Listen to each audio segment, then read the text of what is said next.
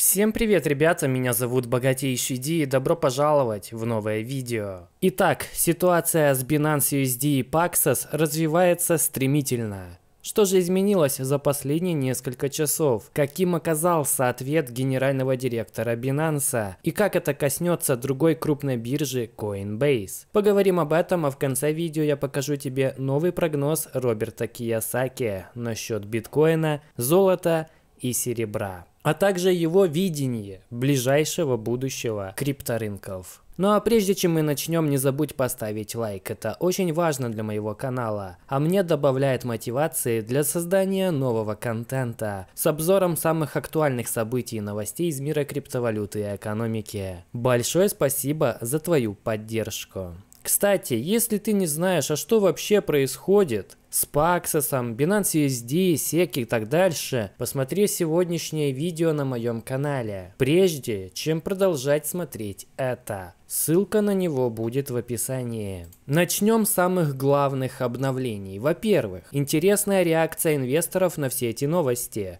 Если мы посмотрим на движение основных стейблкоинов за последние несколько часов, то увидим вот что. Большой взлет тезера, что означает, что инвесторы предпочитают сейчас переводить свои Binance USD, как мы видим, Binance USD падает вниз, в тезер. При этом, как ни странно, такие стейблкоины, как USD Coin, и DAI, да и TrueSD, да и остальные тоже наблюдают похожую динамику. Люди, переливая деньги из других стейблкоинов в тезер USDT. Кроме этого, Paxos, который, как ты помнишь, является эмитентом стейблкоина Binance USD, под давлением комиссии по ценным бумагам и биржам США с 21 февраля этого года прекратит выпускать новые монеты Binance USD. Однако при этом компания будет обслуживать долларовые резервы в Binance USD и поддерживать их как минимум до февраля 2024 года. Клиенты Paxos получат возможность конвертировать свои Binance USD в еще один стейблкоин Paxos USDP. Обменять Binance USD можно до февраля 2024 года. Короче говоря, нам дают еще один год. Также Paxos полностью прекращает сотрудничество с Binance во всех сферах, которые связаны со стейблкоином Binance USD. Теперь я хочу рассказать тебе о том, что же ответил генеральный директор Binance на все эти события, что они собираются делать дальше. Он же не мог просто так промолчать, ведь речь идет о стейблкоине его собственной биржи.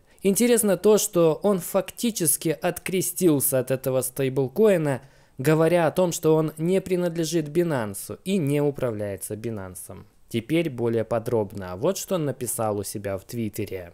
Paxos сообщил нам, что Департамент финансовых услуг Нью-Йорка приказал им прекратить выпуск новых BUSD. Этот департамент фактически регулирует деятельность Paxos, а Binance USD это стейблкоин, который полностью принадлежит и управляется компанией Paxos.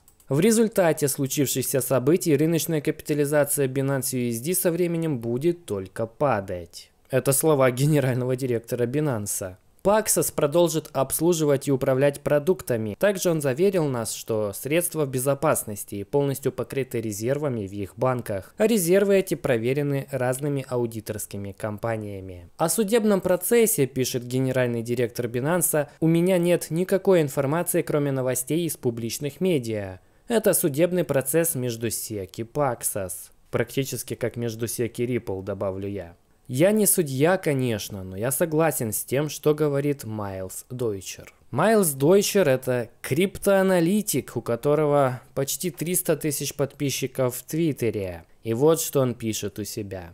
SEC называет Binance USD незарегистрированной ценной бумагой и подает в суд на ее эмитента Paxos. Но как вообще стейблкоин может считаться ценной бумагой, если он явно не соответствует критериям теста Хоуи? Никто не покупал Binance USD с ожиданием прибыли. Что ж, вполне резонно, на месте всех причастных я бы бился сек до конца. Точно так же, как Ripple XRP. Тем более, что стейблкоин Binance USD действительно не соответствует положениям теста Хоуи. Генеральный директор Binance продолжает. Если по итогу судебного процесса BUSD будет восприниматься судьей как ценная бумага, это окажет большое влияние на криптоиндустрию в этой юрисдикции, имеется в виду в США. Binance продолжит поддерживать BUSD в обозримом будущем, но мы предполагаем, что со временем пользователи перейдут на другие стейблкоины. Очень важно, перейдут из BUSD в другие стейблкоины. Мы в свою очередь внесем коррективы. Например, откажемся от использования Binance USD в качестве основной торговой пары для торговли.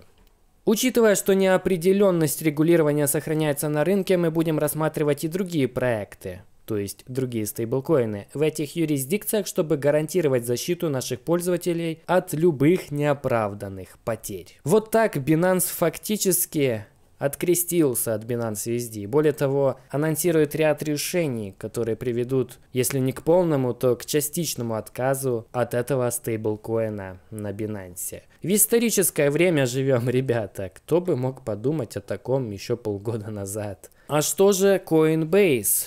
Ведь ходили слухи, что SEC и на него обрушится с обвинениями в том, что его программа стейкинга – это незарегистрированная ценная бумага, как у Кракена. Неужели и Coinbase ожидает судьба Кракена и Binance USD? А вот и нет. Почему-то программа стейкинга Кракена тянет на определение ценной бумаги и, как следствие, полную ликвидацию стейкинга Кракена. А вот программа стейкинга Coinbase почему-то не тянет. Генеральный директор Брайан Армстронг сказал – что стейкинг на Coinbase не проходит тест Хоуи, тот самый тест, который используется для определения ценной бумаги. Однако Брайан при этом готов судиться, если SEC захочет признать стейкинг на Coinbase ценной бумагой. То есть Брайан хочет в случае подачи в суд на него и его биржу повторить опыт Ripple XRP и начать войну SEC. Да уж, что не день в криптовалюте, то интереснее и веселее. Может быть, именно поэтому мы здесь. А завершить я хочу новым прогнозом Роберта Киясаки, который известный инвестор опубликовал у себя в Твиттере буквально час назад.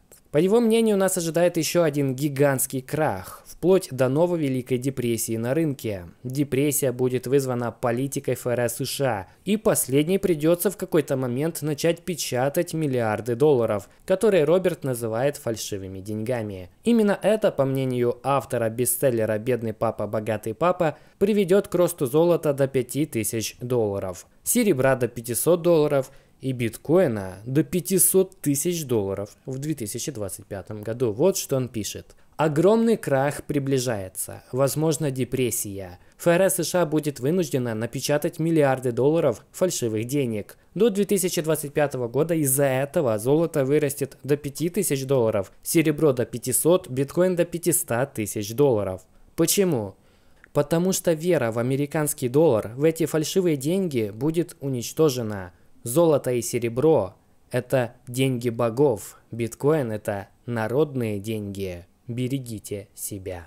Что ты думаешь насчет этого прогноза? Сможет ли биткоин уже через два года вырасти до 500 тысяч долларов? Было бы неплохо, не так ли? На этом все. Меня зовут Богатейший Ди. Это было обновление по всем ситуациям, которые сейчас происходят на рынке, а происходят достаточно исторические события, как ты мог заметить.